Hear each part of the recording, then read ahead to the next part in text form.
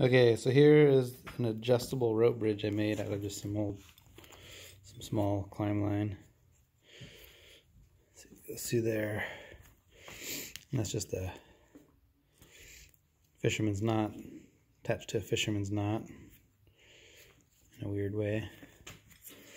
And then whatever knot that is, I don't remember.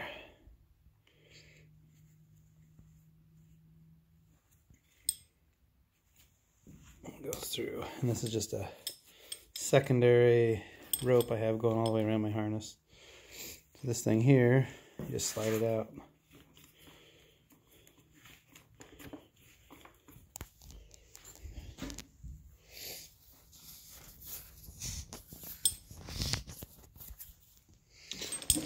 Wherever you want it.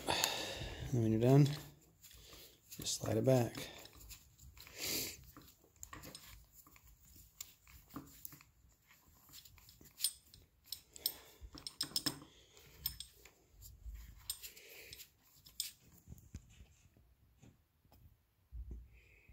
Nothing too fancy.